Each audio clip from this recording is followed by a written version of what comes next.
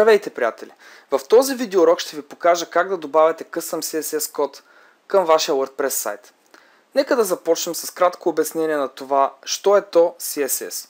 CSS означава Cascading Style Sheets и този код описва как HTML елементи трябва да бъдат показани на вашия екран. Това е официалното обяснение, което е дадено в този сайт, който виждате тук. От него може да научите как да създавате ваш CSS код, който ще ви бъде полезен при промяна на различни елементи от вашата WordPress тема.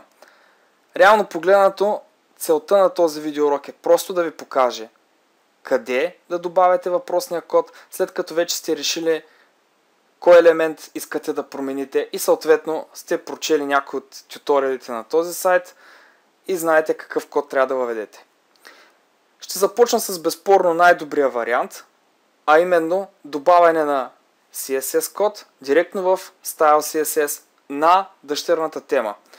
Знаете от, от урок 29, че ви показах как да създавате дъщерни теми в WordPress и това е Style CSS файла на дъщерната тема SKT Yogi Light. Реално погледнато, вашият Custom CSS код трябва да дойде след този ред.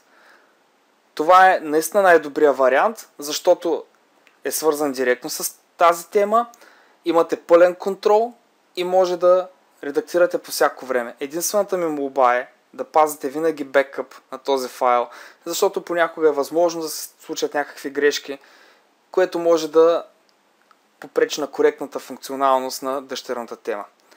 Вторият начин за добавяне на Custom CSS код е чрез плагина Simple Custom CSS.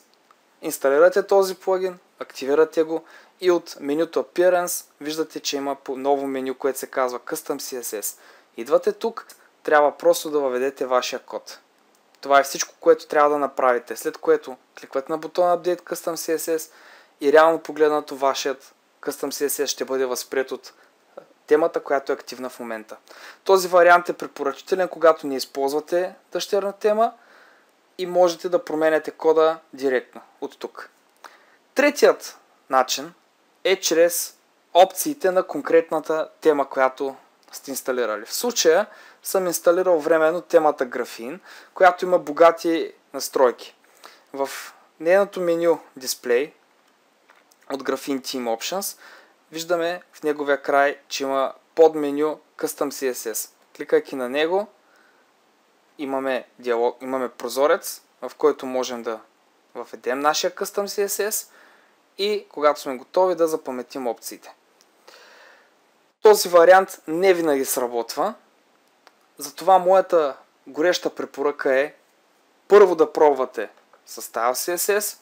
Ако поради някаква причина не желаете да използвате Style CSS или не искате да редактирате директно в този файл, инсталирайте този плагин и работете с него. И най-на място използвайте опцията за Custom CSS към текущата тема. С това този видеоурок приключва. Ако имате въпроси, можете да се свържете с мен по един от начините представени в страницата ми за контакти в optibg.com или да оставите коментар под този видеоурок. Благодаря ви, приятели, и до нови срещи!